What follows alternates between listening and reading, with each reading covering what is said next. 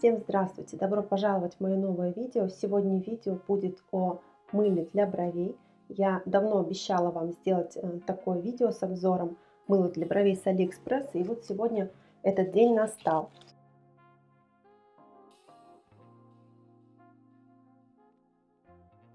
На самом деле мыло с Алиэкспресс мне пришло уже несколько месяцев назад, но так получилось, что я потеряла его дома. Но совсем недавно, во время уборки шкафа с косметикой, оно все-таки попалось мне на глаза. И сейчас я вам покажу, что это за мыло. Мыло очень бюджетное, стоит, по-моему, чуть больше доллара. Я обязательно вставлю в видео стоимость его. Также ссылку на него я оставлю в инфобоксе. Это обычное мыло для бровей в коробочке в комплекте идет щеточка для укладки бровей. Я так понимаю, что такую форму ей придали не только потому, что так она помещается в упаковку, а еще и потому, что ей так, видимо, удобно работать. Ну, попробуем. Само мыло выглядит вот так, в металлической упаковке. Такая отъезжающая крышечка. И мыло, как вы видите, естественно, прозрачное. Вообще признаюсь, что на YouTube я не смотрела ни одного обзора на мыло для бровей. Э, почему? Потому что я хотела, во-первых, оставить свое непредвзятое мнение, э, потому что считаю, что мыло для бровей это все-таки не профессиональный продукт. Мыло для бровей вряд ли используют бровисты, потому что э, это все-таки продукт кратковременный, для кратковременной укладки бровей наравне с гелем для бровей, либо лаком, если кто-то пользуется лаком. Ну, если только визажисты используют его в работе, но я сильно сомневаюсь на этот счет, потому что все-таки гель для бровей, он более удобен в работе. Ну, основным преимуществом мыла для бровей я пока могу назвать только его цену, так как даже по сравнению с самым э, бюджетным гелем для бровей мыло намного выгоднее. Естественно, мне пришлось испытать этот продукт на себе до того, как я сниму видео, потому что, во-первых, необходимо было понять некоторые нюансы работы с ним, а они есть. Так, ну, как вы, возможно, уже знаете, мыло для бровей необходимо перед нанесением растворять с водой. Здесь очень важно учитывать количество воды, потому что если э, мыло для бровей будет слишком жидкое, то при его нанесении возникнут некоторые сложности. И вам придется очень долго прочесывать брови, до того момента, пока мыло начнет схватываться на них.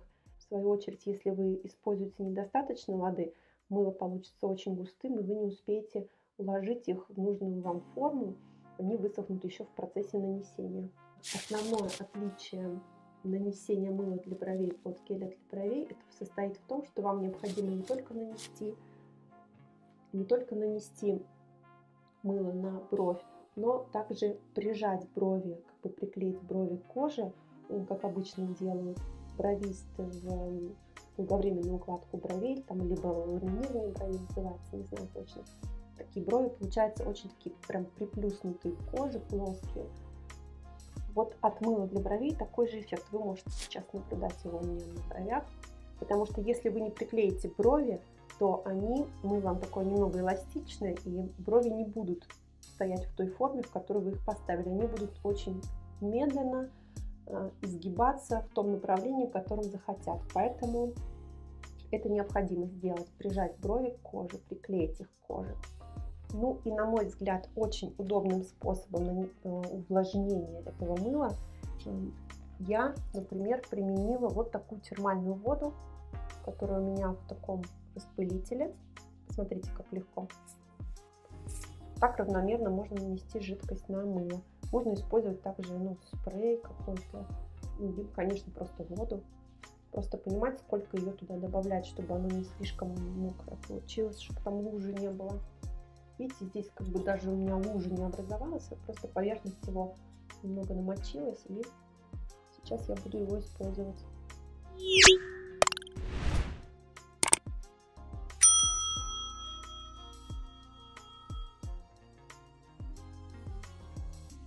Дальше мы берем нашу изогнутую щеточку и вот таким способом набираем мыло на щеточку. Вот набрали. И для приклеивания волосков кожи вы можете использовать как наконечник этой щеточки данной, но мне кажется он коротковат, не очень удобен, поэтому я использую просто кисточку. Либо карандаш любой можете использовать, который у вас под рукой есть. И сейчас я буду наносить хотел сказать гель для бровей, но нет. Мыло для бровей на самое основание брови сначала. Буду поднимать волоски, буду строго вверх.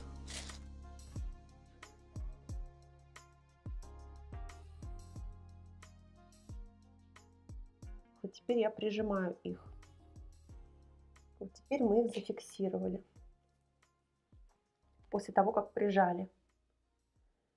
Прохожусь еще раз. Мыло у меня еще, повторюсь, не высохло.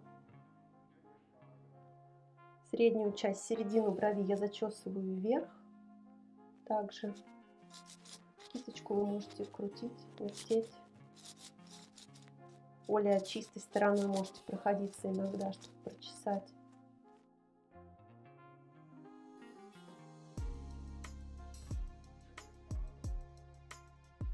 Собственно, я всю бровь сначала зачесываю прямо вверх. Основание волосков будет идти вверх в любом случае. В общем, я куда-то потеряла, у меня куда-то упала щеточка. Чистой стороной я буду придавать направление кончикам волосков. А точнее, они будут смотреть вот сюда в направлении наивысшей точки.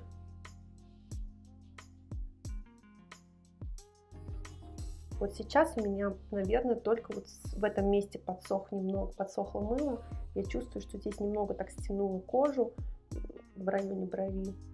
Там мыло вот уже, наверное, подсыхает окончательно.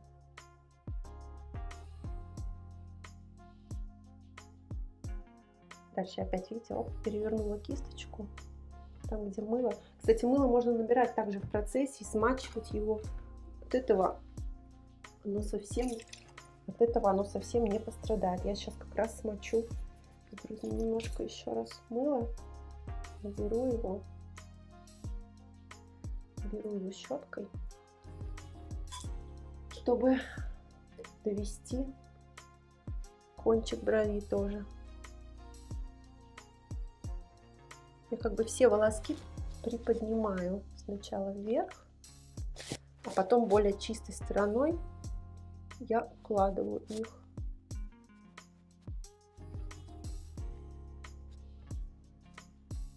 Здесь я их уже укладываю в направлении виска. Но следите, чтобы переход был плавный. Сначала вверх, потом немного в направлении наивысшей точки и дальше в направлении кончика.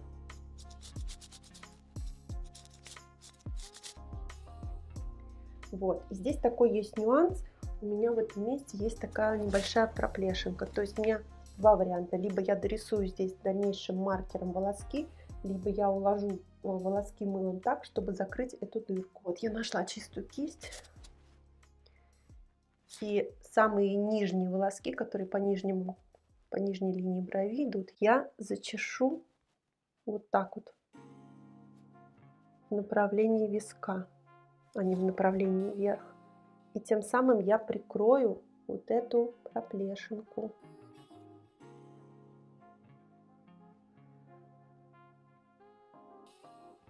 Чистую кисть взяла, точнее щеточку. И сейчас я уже чувствую, как у меня немножко стянула кожу уже по длине всей брови. Это значит, что мыло схватывается. И я специально в макияже нанесла, я специально а, в макияже нанесла хайлайтер под бровь, чтобы увидеть, куда я попаду мылом, испорчу ли я себе макияж, потому что в тех местах, куда попадает мыло, кожа тоже такая матовая, матовое пятно становится. Но сейчас, как я вижу, я не вышла мылом за пределы брови, то есть у меня макияж не испортился. Хайлайтер нигде не перекрыт. Сверху я тоже не вижу каких-то матовых зон.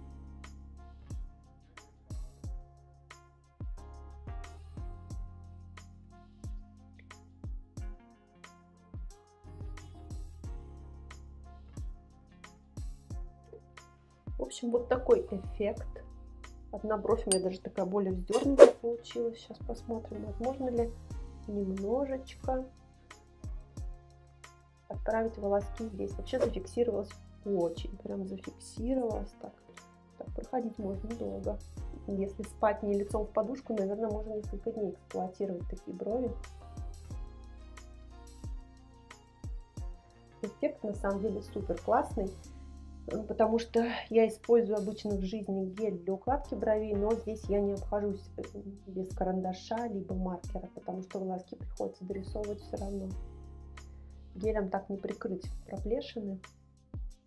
Ну, точнее прикрыть, но оно не зафиксируется на целый день точно.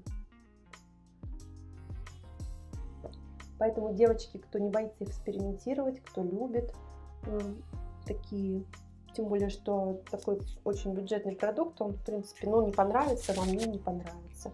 Э, кстати, его можно, если что, вынуть из этой коробки и просто использовать по назначению как мыло. Поэтому я рекомендую этот продукт всем, кому он интересен.